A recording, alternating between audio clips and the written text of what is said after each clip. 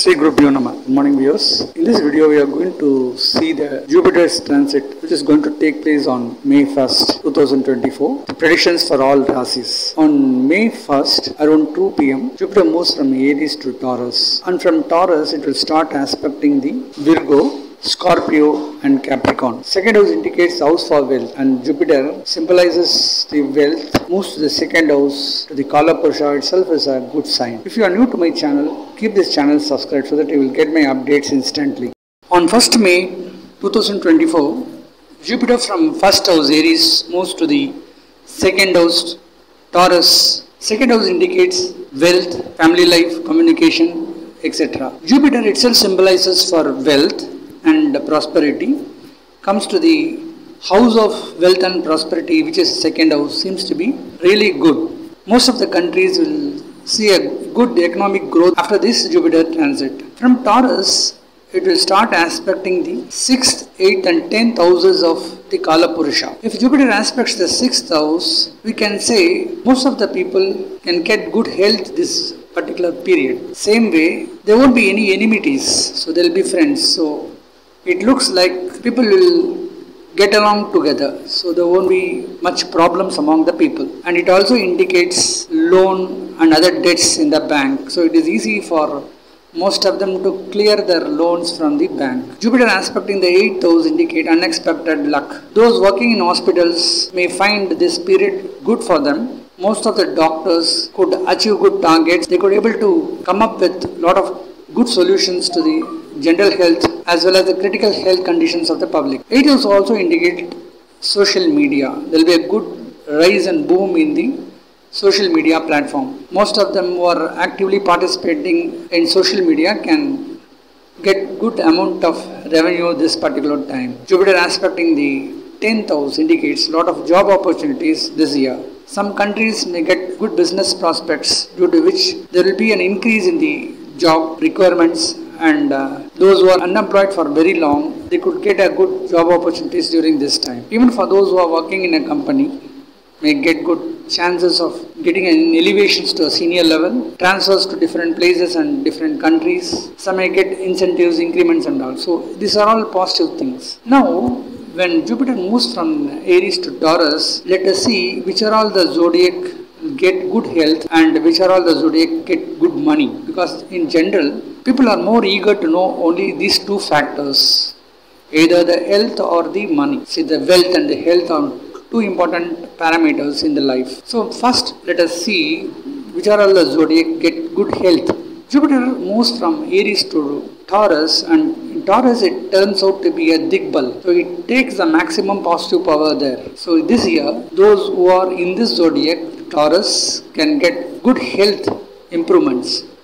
Those who are seniors and elders in this zodiac get good support from the doctors they get good medicines their health condition will get improved in this year. Now jupiter aspecting the virgo. So those who are falling under this particular zodiac may get good health during this time. Seniors and elderly people in this zodiac get good support through traditional medicines especially because Ketu is there very strong and Jupiter aspects Ketu. Those who are taking medicines like in Ayurvedic, Siddha medicines and homeo medicines get good remedies and compared to the allopathy medicines. Jupiter aspecting Scorpio and it is a direct aspect. So we can say those who are in this zodiac can get a good health conditions in this year, especially for those who are elders facing lot of health issues, this Jupiter transit could be a welcome time for them. They'll get good support through doctors as well as through medicines. They find all the health related issues getting solved in this particular period. And finally, it is Capricorn, where Jupiter aspects Capricorn in this particular time. Those who are youngsters get good support if they face any chronic health issues. So they get remedies for their prolonged issues. Even seniors in this zodiac gets good support through the medicines and get a better health this time. Now let us see uh, which are all the zodiac can expect good money flow in this year. So this is very important because generally people look around for money, how to get good money inflow in this particular time. So when Jupiter moves to the second house for Aries and second house also indicate the house for wealth. So we can say the first zodiac is going to enjoy out of the Jupiter transit will be Aries because the placement of Jupiter is really good and strong at second house. They can able to achieve lot of things through the communication, especially those working with communication as a base like lawyers, professors, teachers. This year they get good increase and increments in their salary and their uh, benefits.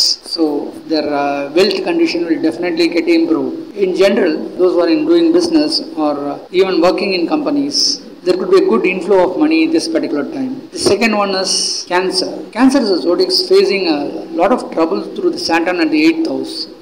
These particular Jupiter transit is a welcome period for them because Jupiter moves from 10th house to the 11th house itself seems to be positive for them. Those who are doing business, those who are working in a companies, they get good salary rise. There will be good support through the elders, especially some may join business with the father as well as their elder brothers. They get good support and advice in this time. The next zodiac is Virgo. For Virgo, so far Jupiter placed at the 8th house, moves to the 9th house itself is good for them. Some may get properties from their ancestors. Some may get assets from the father's side. There could be an unexpected luck. Some may invest in share market, find good profits. Investments in financial segments can yield them a lot of profits in this particular period. The next zodiac is Capricorn, where Jupiter moves to the fifth house. Whenever a positive planet like Jupiter, Venus placed at the tricona houses, it is highly positive. So for uh, Capricorn, this Jupiter transit is a welcome time for them in spite of their struggle in the seven and a half period of Saturn. There will be good support through the children. The seniors in this zodiac get good support from the children. Children get good job and good salary.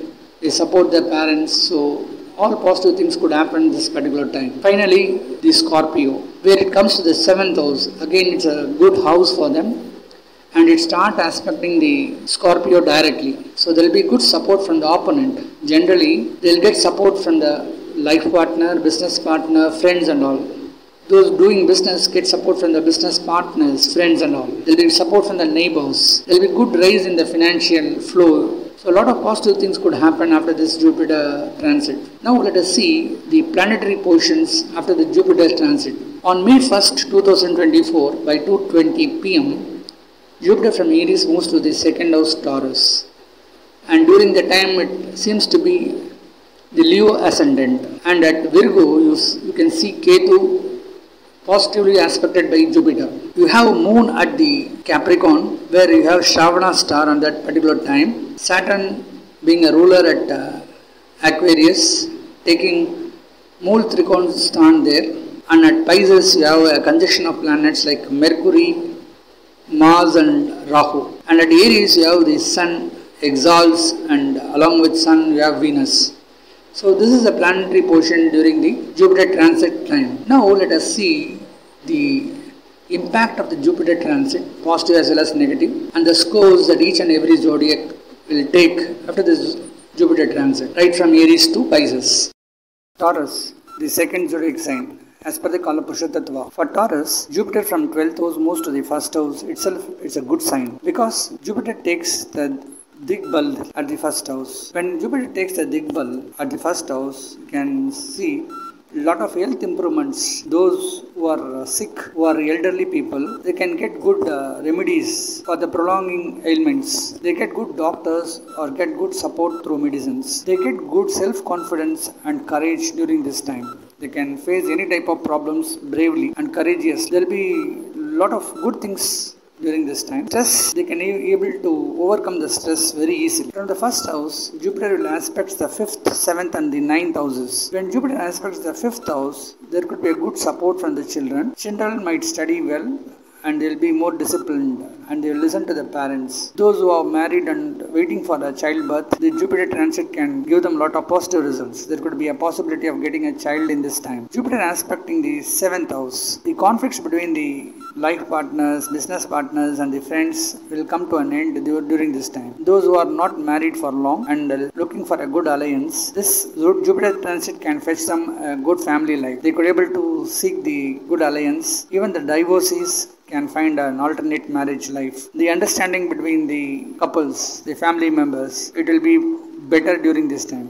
Those who are separated can get reunited again. Even in business, partnership business can yield a lot of positivity. There will be good understanding between the partners. Some may get support from the friends. So these are some of the positivity when Jupiter aspecting the seventh house. Jupiter aspecting the ninth house indicate asset purchase during the time. Some may get unexpected luck. There will be properties which can come to them. Some may get fathers or the ancestors' properties during this time. Some may follow the religious principles and practices followed by their ancestors. Some may show interest in traveling, studying spiritual books, visiting to temples. Even some may try to visit their native place and the native god, and the time seems to be more favorable for them. Investments in uh, financial segments can yield them a lot of positive results. The financial stability will be improved during this. Those who are not getting employment so far and seeking for a good job, some may get entry into the film industries like an actor or a story writer or a poetist. So their success can get them a lot of familiarity among the public. Some show interest in social media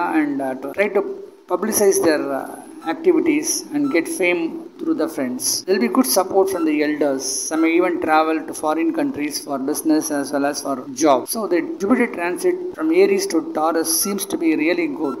The movement of Jupiter from 12th house to the first house for Taurus indicate good health improvements for elders in this zodiac. They find a good improvement over the diseases and there'll be control over the diseases and they'll get good self-confidence during this time. So these are all the positive things. Even the expenses they made so far could be controlled during this time. So there could be a positivity between 85 to 90 percent for Taurus. When we talk about Taurus, the nakshatras Kritika Pada 2, 3 and 4, Rohini and Mrigashirisha Pada 1 and 2 forms the cluster of Taurus zodiac. In that, for the star of sun, Kritika Pada 2, 3 and 4, as sun happens to be the fourth house lord, there could be a possibility of purchase of vehicles and uh, land during this time. Some may get support from the government. Investments in share market can yield them lot of positive results. But Saturn aspecting the fourth house, there will be some problems too for them. They may be lazy during certain aspects. So they don't show interest much on taking certain initiatives. So we can say there could be a positivity up to 85%. For the star of moon, Rohini, and moon happens to be the third house lord, they have self courage, confidence, and they face